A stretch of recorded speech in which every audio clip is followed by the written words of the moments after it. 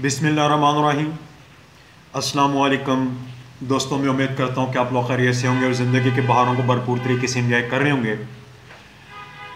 आज हम जो बुक लाए स्टडी करने के लिए, वो है मुस्लिम फैमिली लॉ ऑर्डिनेंस 1961 और आज जो हम इसकी सेक्शन स्टडी करेंगे, वो है सेक्शन फाइव, और जो डील करती है रजिस्ट्रेशन ऑफ़ मैरिज।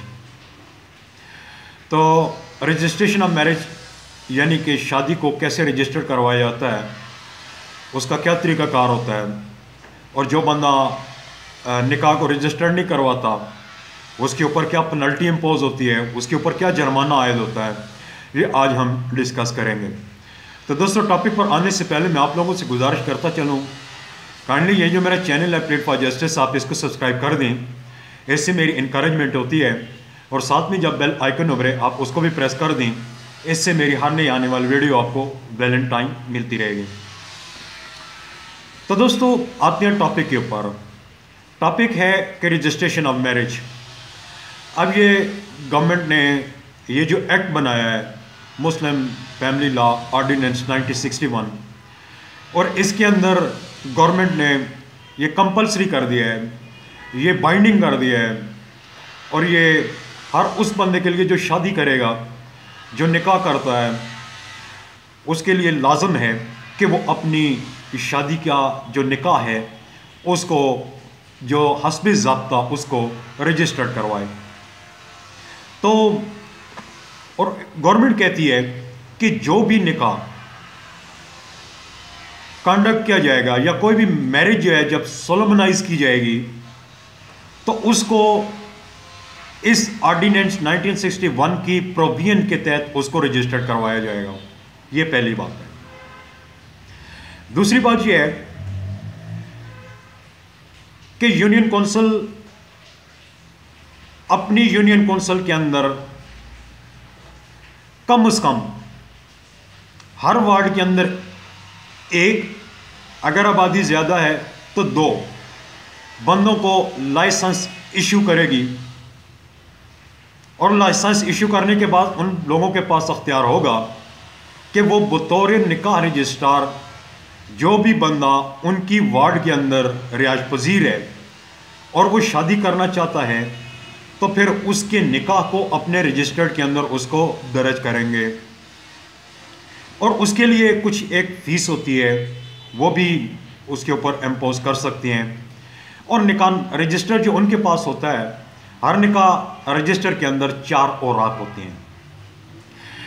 एक जो वर्क होता है, वो दूल्हा के लिए होता है, एक दुल्हन के लिए होता है और एक जो है, वो निका रजिस्ट्रार के रजिस्टर के अंदर रह जाता है और एक कापी जो है, वो मुतल यूनियन काउंसिल के अंदर, रिकॉर्ड के अंदर उसको सेव या प्रिजर्व कर लिया जाता है। अब हर सूरत के अंदर, एक वार्ड के अंदर एक या एक से या दो बंदे होंगे, इससे ज़्यादा किसी वार्ड के अंदर लाइसेंस जो है वो यूनियन काउंसिल इशू नहीं करेगी। उसके बाद तीसरी बात ये आती है कि अगर कोई शख्स शादी करता है, निकाह करता है, लेकिन अपने निकाह को वो मुतलका यूनियन कौंसल का जो निकाह रजिस्ट्रार है, उसके पास वो दर्ज नहीं करवाता उस अपने निकाह को रजिस्टर नहीं करवाता।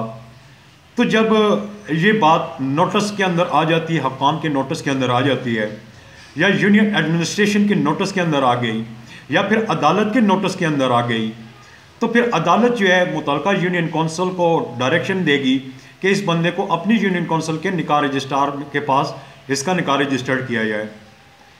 या जो भी कंसर्न आदमी होगा, वो इस निकाह को रजिस्टर करवाने के लिए अता करेगा। चौथी बात यह है कि कोई शख्स वो निकाह तो करता है, लेकिन अपने निकाह को रजिस्टर्ड नहीं करवाता।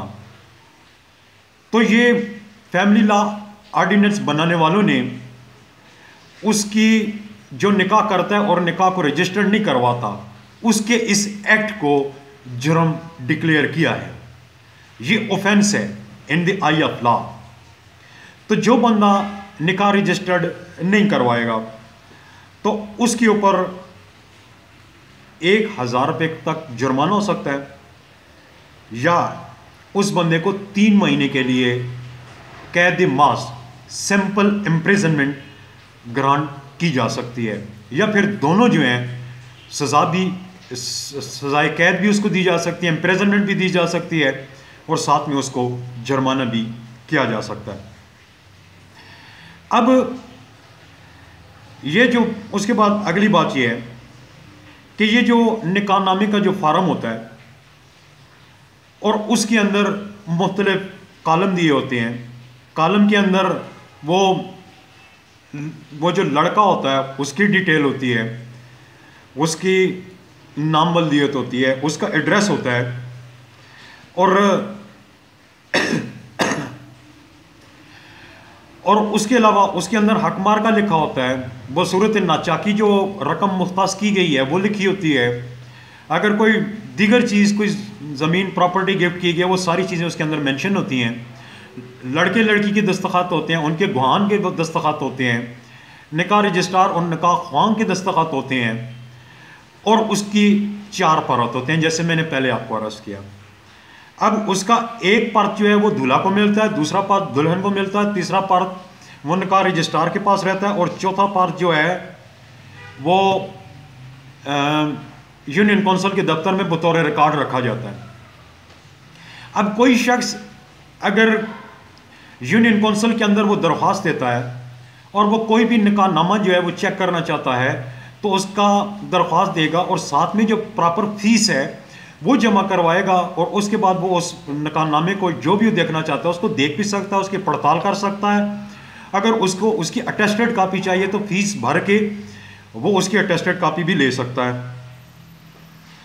और इसमें ये जो रजिस्ट्रेशन ऑफ़ मैरिज है, ये एक ये जो आज हमने सेक्शन पढ़ी, ये इंतहाई इंपॉर्टेंट है।